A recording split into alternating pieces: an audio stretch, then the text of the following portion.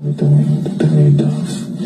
Do you know that the beauty of water flowing with the wind, because it, because water in that moment decides to be vulnerable to the to the leadership and guidance of the wind, it really brings out the beauty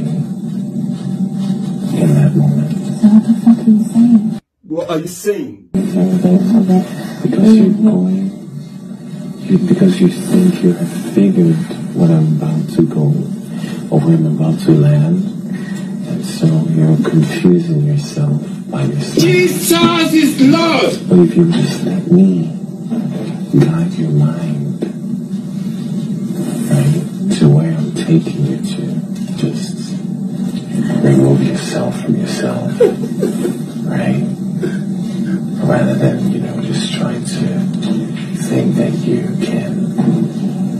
I know you sometimes feel like you know where